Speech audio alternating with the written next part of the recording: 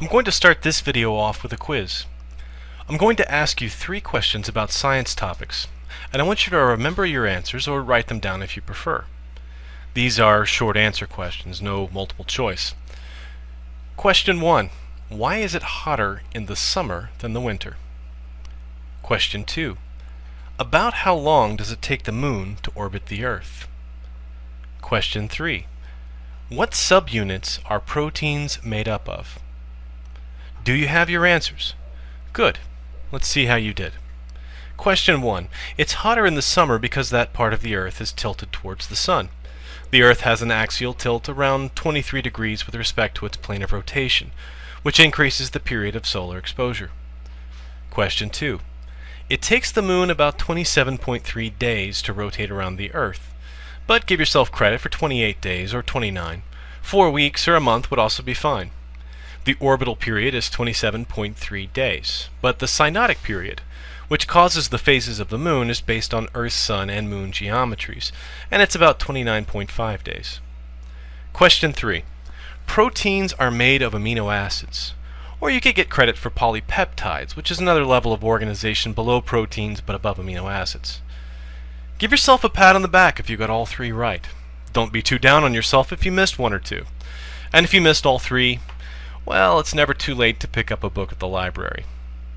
So why the quiz game? There's a growing divide in the US, and in other places as well, between those who understand science and technology and those who do not. Two camps have formed, and I think the consequences are going to be negative for both. Let me share with you the results of a biannual study done by the U.S. National Science Foundation. The poll is conducted by telephone by an independent agency among around 2,000 adults 18 and over selected semi-randomly. There are 10 questions on a variety of topics, all true-false. Keep that in mind.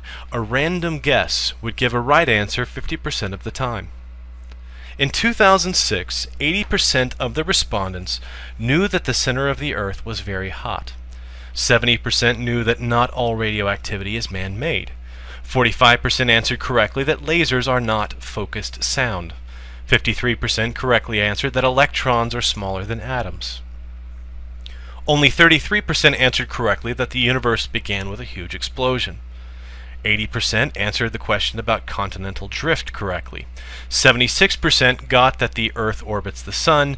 55% answered correctly how long it takes for the Earth to orbit the Sun. 64% answered that the male determines the sex of the child. 56% answered that antibiotics don't kill viruses. And 43% answered correctly the basic evolution question. This is staggering when you really ponder it. I understand the religious motivation about the two questions on origins, but the number of people who think lasers are sound energy, almost half the people didn't know that an electron is smaller than an atom. Or worse, the number of correct answers was not significantly higher than everyone taking a wild guess. That's 2,000 people with no clue about basic technology and earth science. People don't understand our solar system, our basic genetics, how antibiotics work, or where radioactivity comes from. These are people for whom science and technology are strange and frightening. In a 1998 survey that asked questions not about facts or theories, but about the process of science itself, only 7% of respondents from the general U.S. population could explain concepts like controls, placebos, or experimental design. When the study was limited to only college graduates, the numbers went up, but only to 22%. When limited to those with graduate degrees, the number climbs just a little more to 26%. An informal poll conducted at a Harvard commencement ceremony showed that fewer than 10% of recent Harvard grads could explain why it was hotter in summer than winter. A similar survey at George Mason University showed that only 50% of college seniors could identify the difference between an atom and a molecule. Some of you out there from outside the US are laughing at the stupid Americans, but you might want to take a closer look at this international data. The only questions Americans scored lower on consistently are the religiously charged origins questions. There, we only managed to outscore the country of Turkey, although Russia was just ahead of us. The Chinese scored worse than the US when asked about the Big Bang. There were few clear outliers, although the EU and US seemed to be the frontrunners for most questions. To determine how much of the answers were religiously motivated, a rewording of the questions to say, according to the theory of evolution, brings the US up to 74% from 42% when asked whether it occurred this way or not. Similarly, the Big Bang results go from 33% to 62% in the US when prefaced by according to the Big Bang theory. So some people know the basics of these theories but don't accept them. We're facing a divide here. It's existed for decades, but I think it's widening. There are becoming two societies those who value scientific knowledge and those who do not. Let me give you the bad news, folks.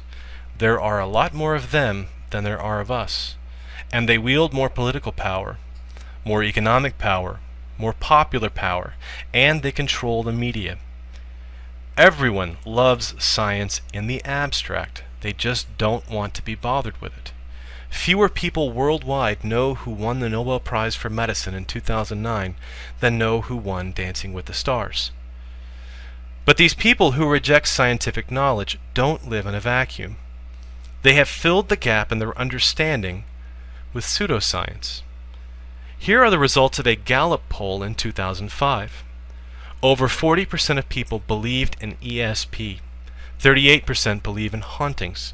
33% believe in talking to ghosts. 31% believe in telepathy, 26 in clairvoyance, 25 in astrology, 21 believe in witches of all things, 20% believe in reincarnation, and 9% believe in ghost possession. A reported 34% of polled respondents say they believe that UFOs are currently visiting the Earth, up sharply from a few years ago. An unscientific survey by British newspaper The Daily Mail reported that of 3,000 British people, 58% believe in a supernatural world that included paranormal phenomena such as ghosts and ESP. In place of science, these people have pseudoscience to provide explanations for the natural world. I want to draw the lines out using two terms in a very specific way. On one side is science. I'm not talking about colored liquids and test tubes here. I'm talking about an evidence-based methodology that has mechanisms for self-correction, that is constantly self-critical, that demands proof based on reproducible observations. This includes technologies that can be demonstrated to work and evidence-based approaches to problems. Microchips, space travel, and biotech, yes, but also academic historians, serious scholars of literature, law, or government, any logical approach to the natural world or social sciences. This does not exclude all religious belief, but it does not include fundamentalism of any sort because of its absolute reliance on Scripture. On the other side is what I will call lore. I'm using a very specific definition here, pertaining to the body of knowledge passed down as legend and folk traditions. The lore of a people are beliefs and stories that are not known to be true, but generally believed nonetheless.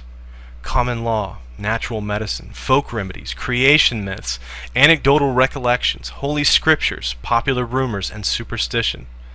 These are things that are no longer based on facts, but on intuition, oral tradition, or a sort of folk philosophy. There's nothing wrong in lore by itself. It helps to bind a culture together. It's when it substitutes for actual evidence, when it outcompetes or interferes with a scientific approach that we run into problems.